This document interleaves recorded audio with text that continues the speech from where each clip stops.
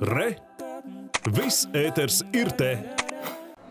Līdz ar septembra atnākšanu Rīgas mākslas telpā atklātas divas izstādes. Jaunās mākslinieces Luīzes Rukšānes personāla izstādei atvēlēta intro zāle, kur viņa aicina ielūkoties kukuržņu ainavās.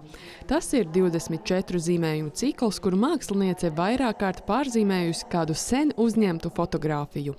Šis mans pētījums, jeb darbu sērija, ir kā par tādām lielajām atmiņām, kas mūs uh, veido kaut kādā ziņā, um, gan sliktām, gan labām, gan savām, gan citu atmiņām. Man liekas, ļoti interesanti arī pētīt to tēmu, kas ir mantotās atmiņas, kas ir atmiņas, ko es pat neesmu piedzīvojis, bet varbūt caur stāstiem pauģu paudzēs, kā, kas arī, manuprāt, ietekmē sabiedrību kopumā un uh, katru individu atsevišķi. Rukšāne atzīst, lai arī piegājiens ir visai strukturēts, viņas prāt izstāde ir ļoti emocionāla un vienkārša. Mākslinieci aicina vērot un pamanīt jaunas lietas atkārtojumā, nevis meklēt attīstību. Bet lielajā zālē Kristiāna Brektes un Modras Vilāna eksperimentālajā laboratorijā skaņu rīki par mūsdienu tautas mūzikas instrumentiem ir kļuvuši krēsli, īroboti, gulta, fēns, skārdenis un citi sadzīves priekšmeti. Šitā ir mūsu tāda tā jokainā tā pasaule, kurā mēs mēģinām dzīvot. Un tie, tie mūsu instrumenti ir tik dīvaini, cik vien dīvaini mēs spējam būt. Jo mēs jau, protams, taisām no tādas mūsdienu prizmas, jo mēs dzīvojam 2022. gadā.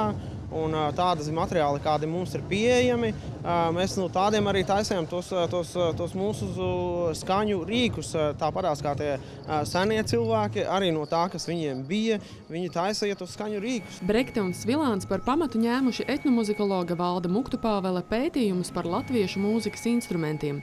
Savas interpretācijas par pašskaņiem, gaisskaņiem, plēvskaņiem un stīgskaņiem ietērpjot šodienas izpratnē un aicinot pieņemt šo citādo skatījumu. Vai viņi aicina arī ikvienu no mums radīt savus mūzikas instrumentus? Tas būtu viss superīgākais, kas varētu notikt no šī visa.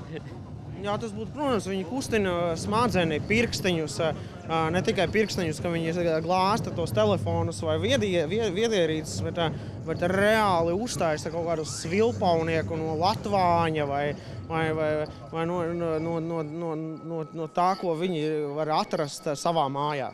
Skaņu rīku laboratoriju papildinās arī eksperimentālās mūzikas performances un sarunas par mūzikas instrumentiem. Abas izstādes Rīgas mākslas telpā būs skatāmas līdz 16. oktobrim. Anete Ašmane Vilsone, Dzintars Spriņģis, Latvijas televīzija.